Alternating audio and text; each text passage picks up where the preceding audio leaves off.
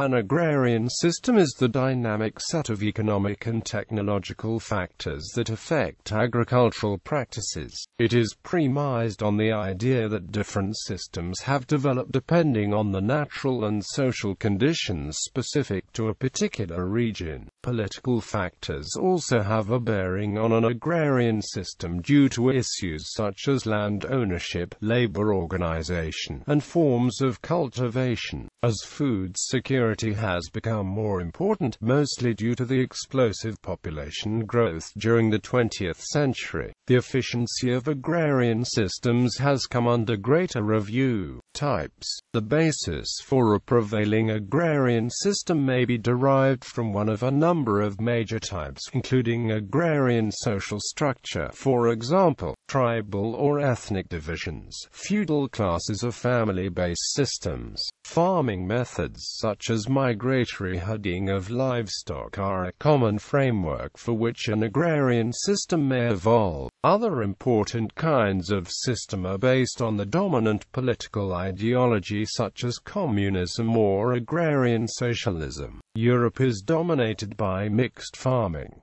This has meant careful management of tillage practices and good tools and implements were important. China developed an agrarian system based on labor-intensive wet rice cultivation where skill was paramount.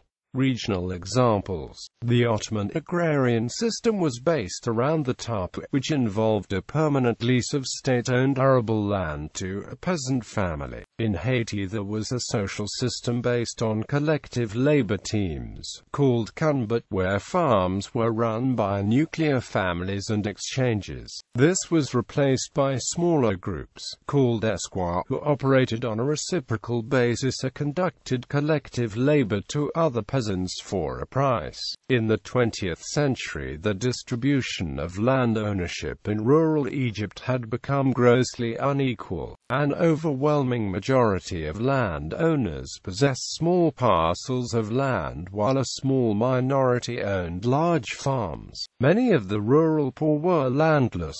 By the middle of the century the calls for agrarian reform grew. Tenancy reforms, including rent control and minimum wage legislation were enacted with mixed results. In Nigeria, the Igbo people developed an agrarian system in which some farmers became traders. Their emphasis on small-scale entrepreneurial capitalism was fundamental to Nigerian independence.